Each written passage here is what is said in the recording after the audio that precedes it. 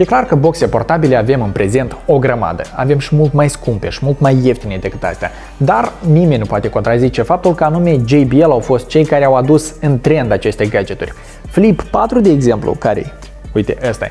Cred că e cea mai populară boxă portabilă. Ai văzut-o unde vrei, în toate parcurile, la toți adolescenții în mână, în genți, pe biciclete, unde vrei. Și astăzi avem urmașul acestei legende, ăsta este Flip 5. Iar alături un obiect de decor care se întâmplă a fi și o boxă, ăsta este Pulse 4. Deci, două boxe foarte tari, fiecare cu propriile scopuri. Voi stați aproape și vedeți ce e bun în ele, ce nu prea și ce să faci dacă ai deja ceva JBL-uri mai vechi.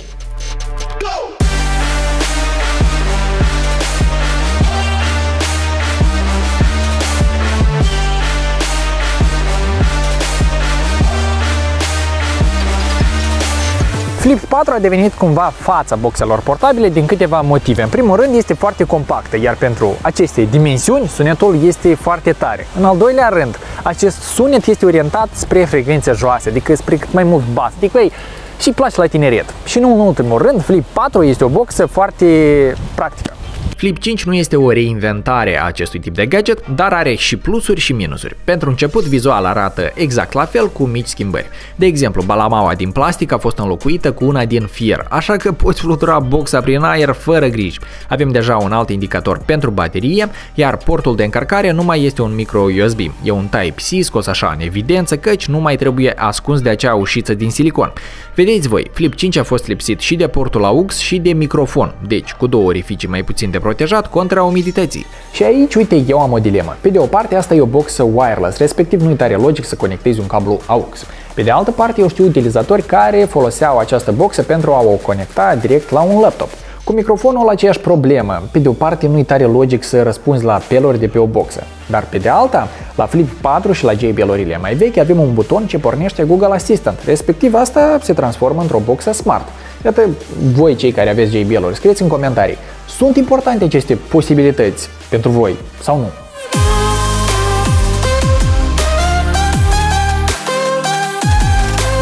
Totuși, punctul foarte al flipurilor era ce sunet putea oferi acest cilindru textil. De data asta, în loc de două difuzoare a câte 8W, Flip 5 are unul singur de 20 și ce să vă spun băieți și fete, sună de o dragoste. E mai tare ca volum, mai puternic ca bas, deci orientat în primul rând spre cei care deja au îndrăgit speakerele de la JBL. Poate să nu fie pe placul unora pentru că e un singur speaker și e mai unidirecțional, dar băi, fără dubii că sună mai tare și mai bine decât te aștepta. Acum nu o să facem un test de sunet prin microfon pentru că nu o să înțelegeți nimic. Eu în continuare vă sfătui să mergeți în orice magazin, vă conectați cu propriile trecuri și testați boxele, dar credeți-mă pe cuvânt, Flip 5 se aude un pic mai tare și un pic cu mai mult bas. Mai departe, bateria. Ea și-a mărit capacitatea, dar având în vedere că puterea e mai mare, obții aceleași 12 ore de muzică la jumătate de volum ca și până acum. În schimb, se încarcă ceva mai repede, de la 0 la full în 2 ore jumate, cu o oră mai mult practic decât Flip 4. Rezistența a rămas aceeași, IPX7, asta înseamnă că Flipul va supraviețui orice frigărui, orice party, fie el în bazin sau în pădure.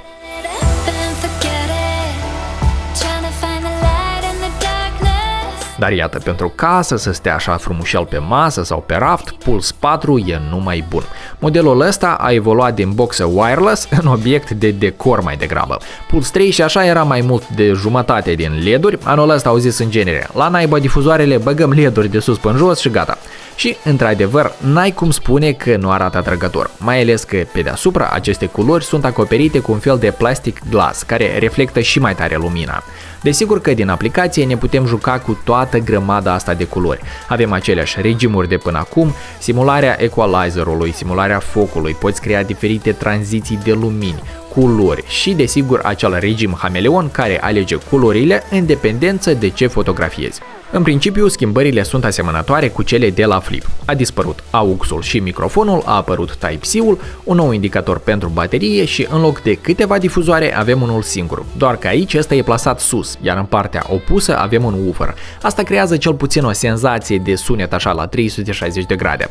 Puterea și calitatea, apropo, e la fel ca la Flip 5. 20 de W, dar cu ceva mai mult bas datorită radiatorului pasiv mai mare și a formei mărite, evident. Totuși, ambele au o noutate care i-a înfuriat pe mulți. Avantajul JBL-urilor este că se poate sincroniza sunetul între mai multe boxe. Această funcție se numește Connect Plus. Începând cu aceste două modele, JBL iar a schimbat protocolul. El se numește Party Boost. Și guess what? Dacă ai un Flip 4, un Charge 3, un Charge 2, Extreme 2, Boombox și mai este pe acolo de generația trecută. Toate astea nu se mai sincronizează cu boxele noi, doar astea două și viitoarele modele care vor apărea. Faza e că Party Boost-ul ăsta nu oferă niciun avantaj pentru noi utilizatorii. Vedeți voi, noile boxe de la JBL oricum vin cu Bluetooth de standard vechi, 4.2, nu e 5.0. Deci conexiunea nu e de la o distanță mai mare, nu e mai stabilă. Eu cel puțin nu am văzut nicio diferență față de Connect Plus. Uite așa o dilemă. Ia ca poftim vouă protocol nou Party Boost-ul ăsta, eu cu Connect Plus nu avem așa probleme, uitați. Se aude asta, pe urmă se aude asta nici o sincronizare, băi, și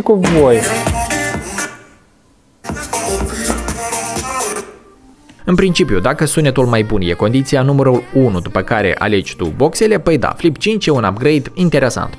Pulsul arată și mai bine cu toate LED-urile astea și sună în continuare nemaipomenit, totuși, dacă vrei să te conectezi mai departe cu prietenii care au JBL-uri mai vechi, ai nevoie de port AUX și de ce nu microfon, păi generația trecută de Flip și chiar de Puls e un deal și mai bun în perioada asta. Cam asta a fost totul pentru azi, prieteni. Vă mulțumim că ne urmăriți, vă abonați, ne puneți like-uri acolo frumușel. În comentarii puteți să ne scrieți ce sugestii mai aveți, poate vreți să vedeți careva device-uri anume. Cu voi a fost Vigo.